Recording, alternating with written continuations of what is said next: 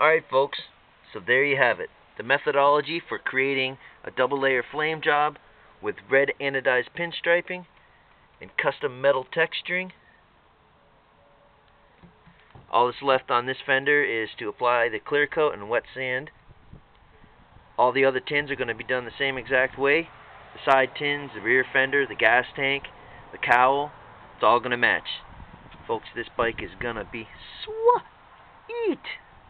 When I'm all done and it's assembled, I'll take another video and show you guys how it turned out.